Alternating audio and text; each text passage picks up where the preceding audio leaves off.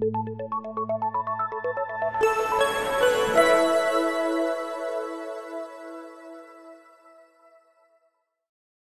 Luego de confirmar que en breve el gobernador del estado, Miguel Ángel Yunes Linares, presentará el programa de reordenamiento integral del transporte público de Veracruz. El director general del transporte, Rafael Escobar Torres, aseguró que el incremento en las tarifas del transporte público en cualquiera de sus modalidades es una irregularidad que se combatirá con todo el peso de la ley. A todos los, amigos transportistas del estado, quien aumente tarifas de manera eh, unilateral, eh, serán sancionados de inmediato. Tenemos operativos eh, en todo el estado, verificando rutas de pasaje, taxis, etcétera.